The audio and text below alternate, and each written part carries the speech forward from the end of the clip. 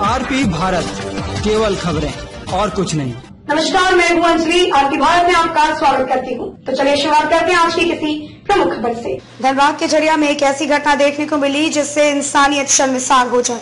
झरिया के एक बुज़ुर्ग उम्र लगभग पचहत्तर साल का कामेश्वर तिवारी अपने पैतृक गाँव बिहार के रोहतास के नहता गाँव में लॉकडाउन में फंस गया था, जिसकी सूचना उसने अपने मालिक को दे दी थी। जैसे कि लॉकडाउन खत्म हुआ वह अपने गाँव से पैदल चलकर झरिया के हेटली बाँध अपने घर पहुँचा, जहाँ वह काम करता था और रहता था, परंतु यहाँ आते ही उसके मकान मालिक ने उसको नौकरी से निकालते उसे घर से भी निकाल दिया।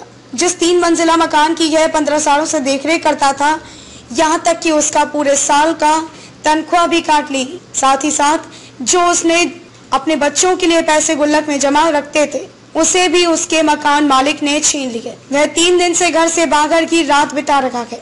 मोहल्ले के कुछ समाज सेवी लोग उसके भोजन की व्यवस्था कर रहे हैं। झरिया से मनोज साव की रिपोर्ट।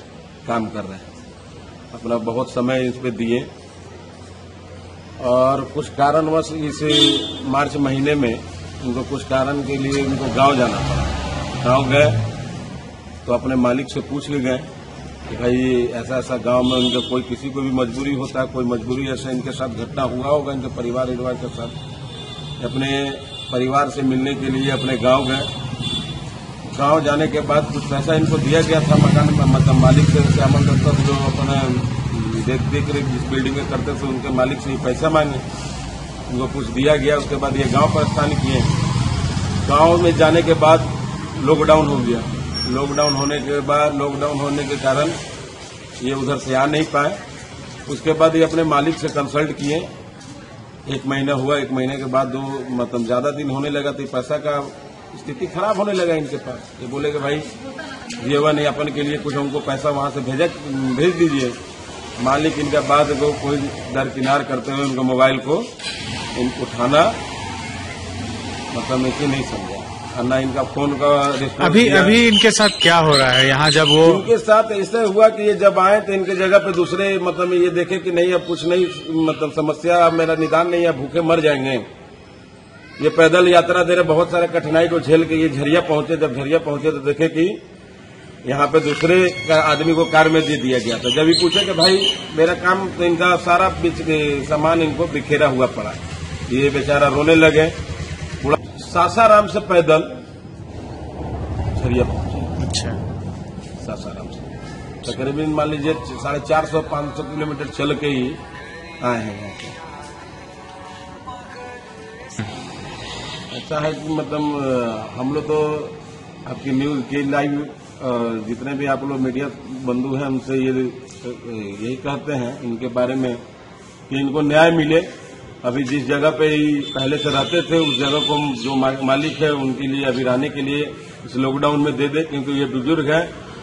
और इन हालात में कहीं जाएँगे नहीं, क्योंकि ट्रेन बस कोई सा, परिचालन है नहीं, या पैदल अब जा नहीं पाएँगे। इनका तो क्या नाम है कि पैदल जाएँगे तो ये बेचारा मर नहीं मोहल्ला का लोग ही अभी इनको दे रहा है, रोड पे ये सूत रहे हैं। बस इनका जो बकाया पैसा है, पंद्रह सोलह साल से जो इनका पैसा रख लिया गया है काट कुट के वो दे दे। इनके नाम पे बिजली मीटर चला रहे हैं। इनके नाम पे और कुछ कुछ अपना मतलब और कोई पैसा ट्रांजेक्शन ट्रांजेक्शन भी करते होंगे। जो इनका निकल रहा है वो इनको दे दिया जाए। क्या नाम हुआ आपका? मेरा नाम झूलन सिंह युवा संगठन। हम लोग का संगठन भी है। उन्नीस तारीख को हम यहाँ से पैतृक गाँव गए और वहाँ घर के काम में थोड़ा सा दिक्कत और मालिक की अनुमति लेके और मालिक वहाँ से आने के बाद डेहरी आए तो लॉकडाउन दस पंद्रह दिन किसी तरह बिताए, इसके बाद वहाँ से पैदल चलना स्टार्ट किए। रास्ते में 24-25 दिन गुजर गया। कहीं पुलिस का डंडा तो कहीं दौड़ा दौड़ी, इसी तरह भाग दौड़, चाह पानी, कहीं पार्टी लोग खाना दे दे, कहीं पानी दे दे। इस तरह करते यहाँ आए। आने के बाद यहाँ पर एक हमसे नवयुवक हमारा घर का सब सामान निकाल पकाल कर फेंक के और ताला लगा के बैठा हुआ है। जो चल के देख लिया जाए कि क्या स्थिति में हम रह रहे हैं।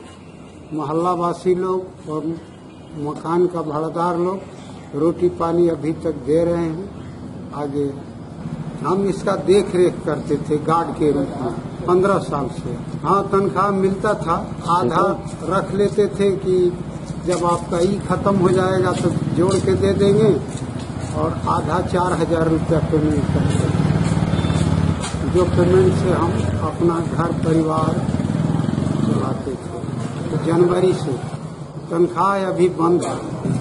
कि नवंबर दिसंबर का पैसा लेके हम फरवरी में घर गए थे। जी हाँ बोल के गए थे, उनसे बात भी हुआ लॉकडाउन जब डेयरी ओन सोन में हुआ, उस समय उनको फ़ोन से भी संपर्क हुआ। इसके बाद वो फ़ोन उठाना ही हमारा नंबर से अनुचित समझ रहे हैं। हमारा नाम से जो इस बिल्डिंग में मीटर लगा हुआ है, वहाँ जाके बोले, झरिया थाना प्रभारी को तो बड़ा बाबू बोले कि आप अपना आधार का कॉपी और ये बिजली का मीटर